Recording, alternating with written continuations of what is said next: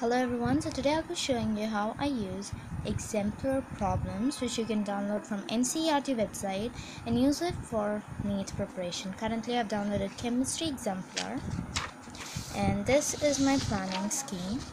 I put date and time. And this was 29th May which was yesterday 2.45 to maybe 3 o'clock I spent doing MCQ type of questions and today or maybe tomorrow I'll check MCQ answers. I've just checked the answers which you can search in different websites. In Google if you search you'll find out the websites. I'll put the link down in the description box below. Then the short and long answer question. This is for class 12 students who are writing board examination.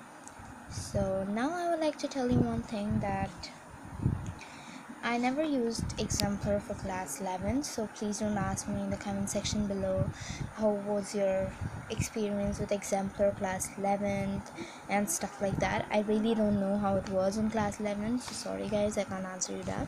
So let's take a look at this. So MCQ type of questions. I marked with red pen and put my doubts in red so that red is quite clear. You can see in the video as well. There's so many questions and stuff which I've attempted and marking questions, writing stuff I need to read and this helps me learn quite efficiently. And then we have even MCQ question type 2 where you have two or more correct option. I don't think this is quite necessary for NEET but if any one of your friends is writing mathematics related examination JEE and stuff they might think that's useful.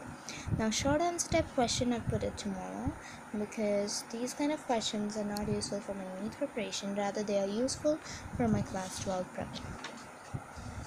So matching type of questions also are nice hide them assertion and reason type you can see here.